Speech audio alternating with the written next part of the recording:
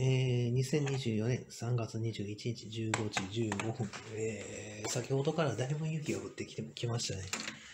これね、まず3月下旬ね、この景色はないですね。この状況。昼間ですよ、しかも。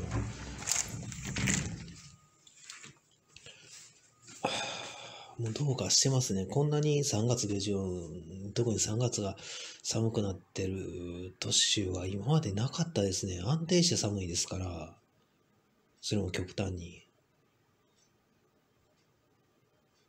最高気温本当のところ何度なんだろう。家の中今暖房器具つけていても14.6。外置いておきますね。で、まあちょっと買い物というか、書室へ行って確認します。人口。16時30分、3月21日。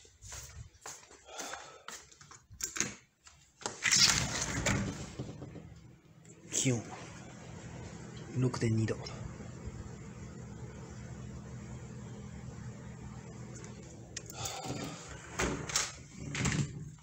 いよいよ日曜雪降ってたわけですね。